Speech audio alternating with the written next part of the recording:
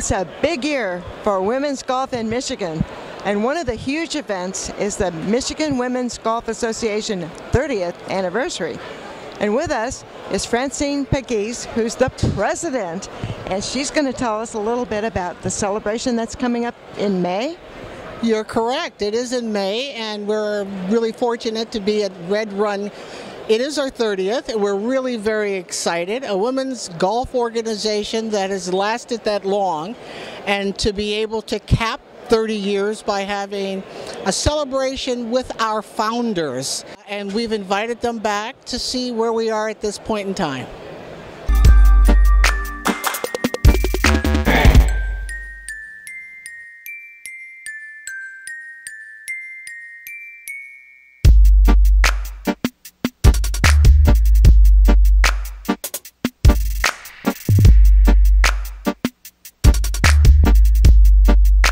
Debbie Williams Hoke, and I'm very proud to be part of the Michigan Women's Golf Association as they celebrate their 30th anniversary.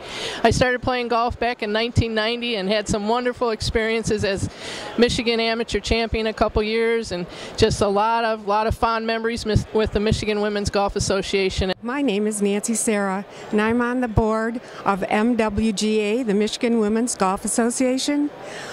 What the association has meant to me is that I can play by the rules with other women who play by the rules. It makes everything fair and on a level playing ground.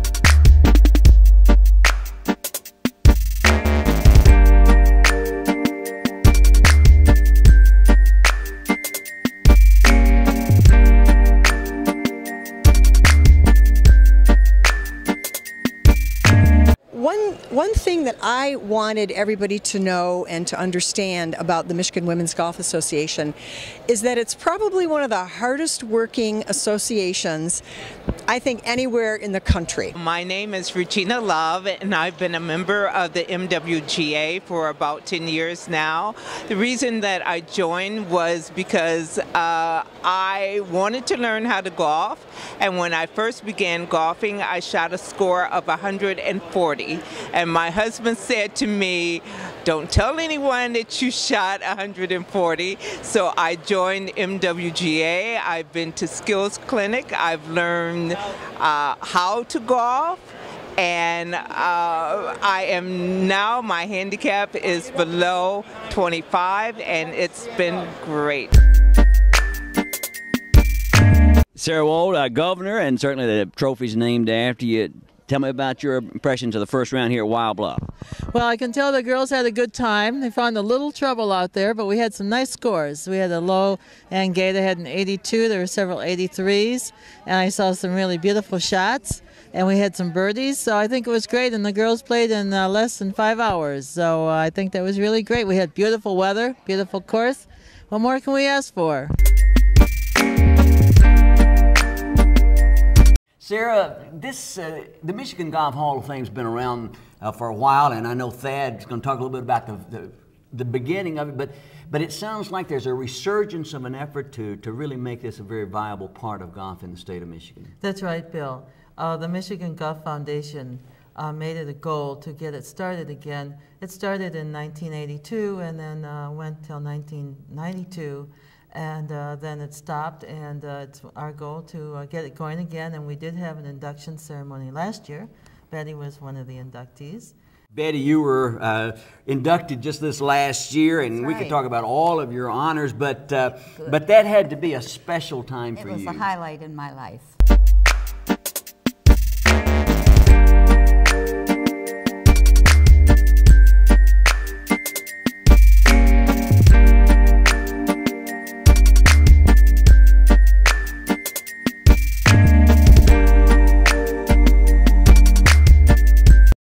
Janina Jacobs, live at the Washtenaw Country Club. We are celebrating the 20th anniversary of the Michigan Women's Golf Association. With me is Nancy Serra, who is the president of the Michigan Women's Golf Association, and also Joyce Kazmierski, a Michigan resident golf pro, president, former of the LPGA teaching division. Growing up in, in Michigan and really all the support that I had, even though I grew up at a time where there were very limited competitive opportunities for me as a player, um, I just wanted to play. And uh, uh, fortunately, there were enough opportunities out there and some very very influential people that helped me along and, and gave me some opportunities that allowed me to keep golf as a career.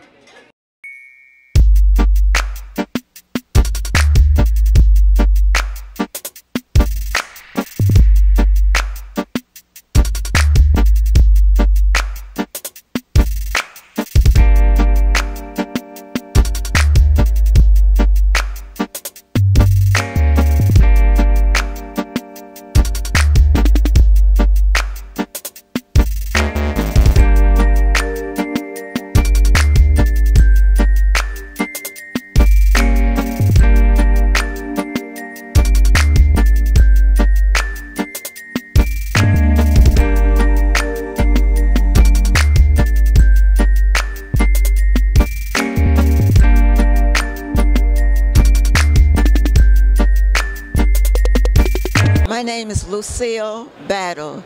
I have been playing with Michigan Women's Golf Association for several years. I like playing with them because I'm able to play with women who have the same handicap as myself. It helps to increase my skills. I enjoy these uh, skills clinics that they have. Uh, also the trips that uh, since I've been playing with them, I've been to Scotland, I've been to Ireland, and I've been to numerous courses in the Michigan area. Hi, I'm Susan Barely.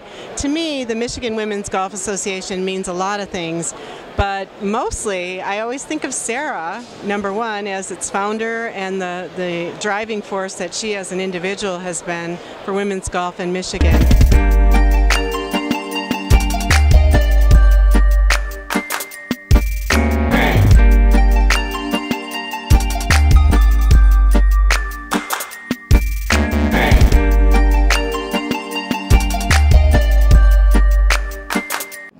Honorees this evening is Shirley Spork, who's looking very glamorous, I must say. Hey, thank you, thank you. I made a quick change from the 18th green. I run in the locker room and get ready for this nice celebration this evening, and I feel very honored to be part of the celebration with Mary and Betty and uh, all the support that they're getting for the the junior or for the uh, college girls from three three universities is very special. One of our honorees this evening is the longtime Michigan State University golf coach, Mary Fossum. And Mary, you really started coaching golf right as Title IX took hold. That must have been pretty exciting. Well, it really was exciting because uh, uh, at that time we wanted to be sure and get started in the right direction, and uh, they didn't have anybody that had too much uh, golf experience. Right. And of course, with Bruce being the men's coach, they thought, well, let's talk to Bruce and see if he can soften her up a little bit. so that's how we got we got started then, and uh, and that's exactly right. It was 1973 before we had any competition. One of the people being honored tonight is our favorite, Betty Richard. Betty, you just look gorgeous, by the way. I, I, I almost don't recognize you without a blazer.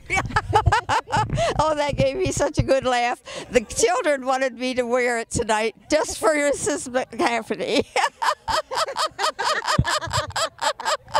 well, you know, there's so many things that you have done, but there's one that I've always been intrigued by, and that is you were on the USGA Women's Committee for how many years? Well, I think it summed up 25. What was the mission of the Women's Committee? The mission was to run the women's golf in the United States and uh, to be the uh, core central spot where women from across the country could get answers to questions that they couldn't get from staff at Golf House. Well, we're at Travis Pointe for the really fancy legacy celebration in honor of a couple of great people we'll get to later. But right now, we have a couple people from the Detroit golf team, and you get to do something pretty special today. What's your name? Sarah Thompson. Sarah Montone. And uh, tell tell our viewers what it was you were doing today. You were helping out the foursomes, right? Yeah. So what we did is we stood on one of the par fives, and basically we would just hit two drives for them and let them use whatever one they choose. A little bit of pressure? Uh, it wasn't too bad. It was kind of uh, similar to what we get in our big tournaments when you have all eyes on you.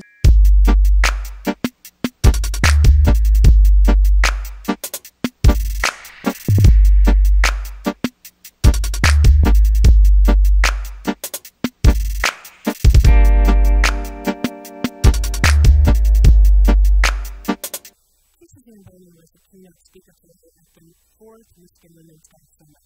We had 140 women and men attend the summit, and it was a resurgence of an effort that began many years ago.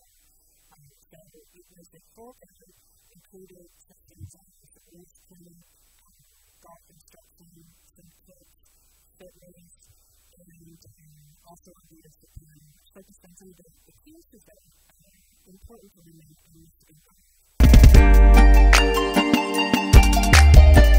I'm Pat Shelton. I'm currently membership director of the Michigan Women's Golf Association. I had been publicity director for many years and have been on the board for, oh golly, 20 years. Uh, I think it's a wonderful association for female golfers because all of our competitions are handicapped and flighted. So we get to play at our own level. We're playing against golfers of our own level. The MWGA is a hardy group. We always went up north, northern Michigan, to uh, play uh, over Memorial Day weekend. And one time I remember we had uh, started out in the sun. It turned to a driving rain with thunder and lightning. There was a um, hurricane in the area and then it turned to sleet and snow. and by the uh, last three holes, the sun came out, and we tied our towels to the uh, carts to dry them out, and we finished the round. We were really a hardy group. Hi, I'm Jill Rohr, and I am a golf coach in Ann Arbor, Michigan. I coach the boys team, and then I'm the assistant coach on the girls team. One of the things I've learned about is the Women's Golf Association, and I'm very excited about joining the Michigan Golf Women's Association for many reasons. The main thing is that I finally am getting back into golf because I've raised my babies. I have one baby that's eight years old, and I want her to get involved in golf and I want more young children to get involved in golf. So I'm going to join. I hope we get a lot of other members to join also.